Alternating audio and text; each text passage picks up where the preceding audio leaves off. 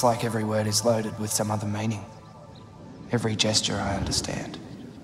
Every breath and every sigh.